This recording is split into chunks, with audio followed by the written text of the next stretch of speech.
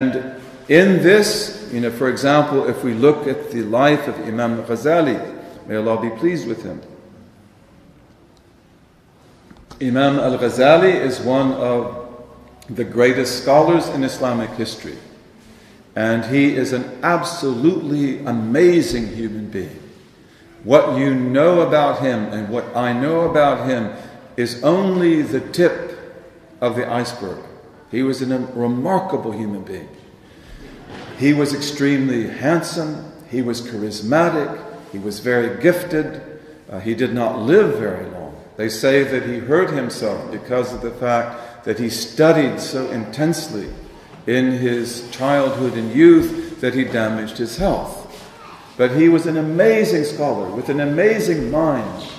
And then, you know, he lives in the times of the Seljuks and Nizam al Mulk and Nizam al Mulk, may Allah have mercy upon him. He creates the madrasa system, which becomes like the university system of Islam, based on Central Asian models that go back to the Buddhists. But he galvanizes that in a way that's very beneficial for the Muslims, and he creates, creates what are called the Nizamiyas. These are great schools that are given his name by the Seljuk monarch. There's one of them in Nisapur, in Persia, in Sunni Persia, and Imam al Ghazali begins to teach there. But he's so brilliant, you know, that he is then asked to come to Baghdad. And there's the great Nizamiya, the greatest of all these schools in Baghdad. And Al Ghazali has all kinds of students. And he's extremely effective. And then in his free time, he studies other things. His Tahafut al Falasifa, for example, and his refutations of the esoterics, the Batiniya. All of that he does in his free time.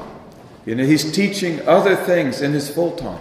He's writing, he's producing, he's doing everything. And then all of a sudden, he has a spiritual crisis.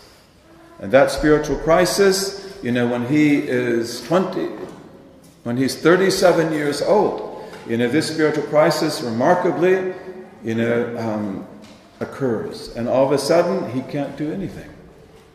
You know, it's almost as if he can't even speak. He can't even say the basmala. It's like, what happened to you? You know, is it the evil eye? Is it sorcery? What is it? You know, but he knows in his heart of hearts, and his brother Ahmed, who is also a great uh, master of the way, he tells him, This is a warning to you. This is God.